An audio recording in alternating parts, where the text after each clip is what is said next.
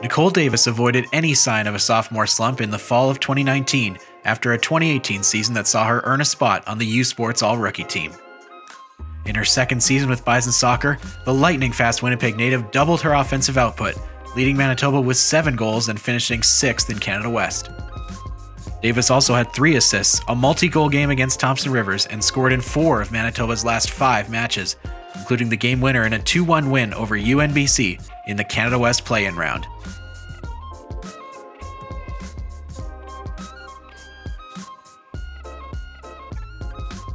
For her play, Davis was named to the Canada West All Stars second team, becoming the first Manitoba soccer player since Desiree Scott and Caley Miskimmin to be named to a conference All Star team in successive seasons.